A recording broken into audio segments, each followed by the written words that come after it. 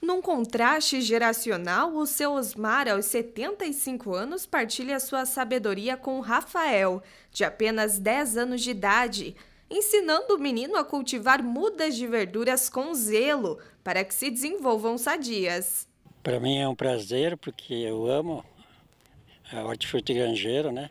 Trabalhei anos com isso, eu amo isso, eu fiz uns cursos de orgânico, aprendi muito Cada encontro era uma aula de biologia, né? E me fascina muito. Eu estou aqui com muito prazer poder contribuir para esse projeto tão bonito que é do Céu das Artes.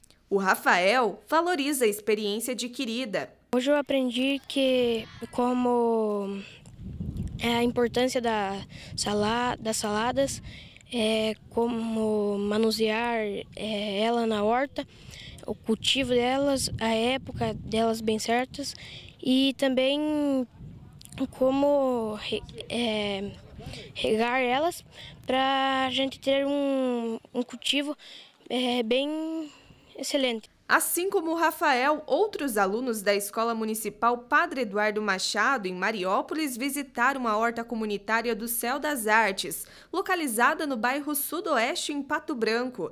A iniciativa foi inaugurada em junho e é objeto de estudos da UTFPR de Pato Branco e do IFPR de Palmas, além de ser monitorada por idosos que frequentam o Céu das Artes.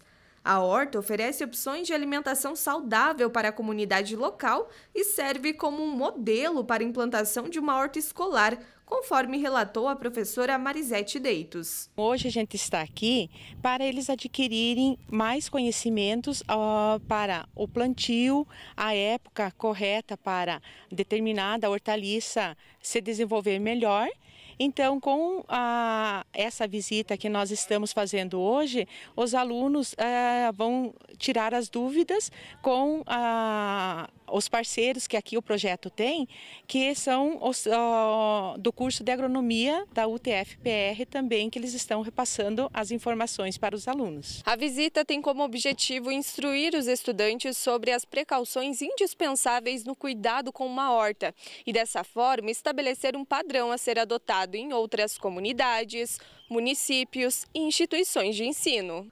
Natan Bertuol, coordenador do Céu das Artes, destaca a importância do compartilhamento de experiências. A gente sempre tem os idosos aqui no Céu das Artes com um carro-chefe.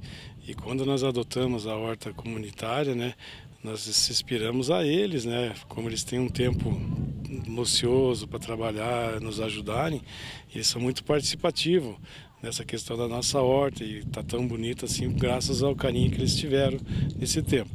Com certeza essa visita da escola de Mariópolis aí vai satisfazer eles, né? A nós também mostrarmos que a horta vem dando muito certo e a gente tem colhido bastante resultados bons.